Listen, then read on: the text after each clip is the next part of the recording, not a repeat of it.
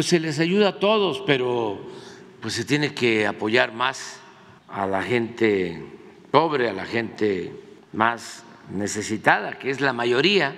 Hay quienes perdieron sus casas, perdieron sus eh, muebles, pero también en el censo que se está levantando se está eh, incluyendo a pequeños, a medianos empresarios, pequeños, medianos comerciantes. Luego, eh, Nacional Financiera ha decidido entregar créditos sin intereses para pequeñas, medianas empresas. Hay alrededor de dos mil millones disponibles para entregar estos créditos y en el caso de los más de 300 hoteles, hay dos acciones que se han logrado hasta ahora. Primero, que las aseguradoras les eh, entreguen lo más pronto posible el 40% del el estimado de daños que tienen los hoteles, que no haya tanto trámite y que lo más pronto posible les entreguen 40% para que reinicien la reconstrucción de los hoteles. Y quienes eh,